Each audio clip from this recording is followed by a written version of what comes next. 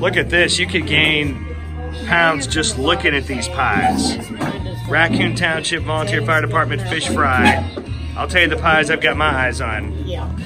This one right here He's got a lot of back pay. and that one right there. Oh yeah. Oh yeah. These look really good too. Oh yeah. You could just go to town. Raccoon Township Fish Fry, Froggy, and Clearview Federal Credit Union are here until 7 o'clock.